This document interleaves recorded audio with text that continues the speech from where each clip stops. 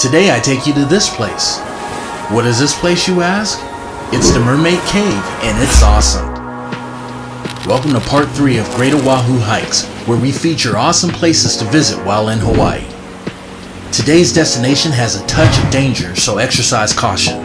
The waves can be ruthless here, so it's recommended that you visit Mermaid Cave during the low tide. Otherwise, you might find yourself being sucked out into the ocean. To get into the cave, you must drop into a hole that's about 8 feet deep. Once you're in, mind your head because the ceiling is very low, but the rewards are plenty. Enjoy and stay safe.